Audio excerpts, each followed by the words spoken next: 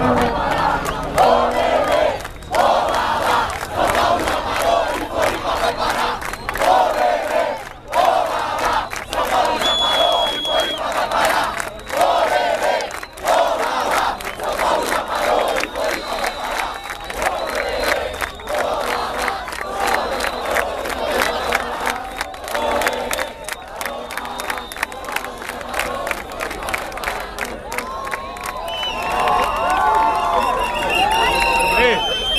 Ian, o pessoal vai vir aí também. O Ian e o Vitinho. Ah,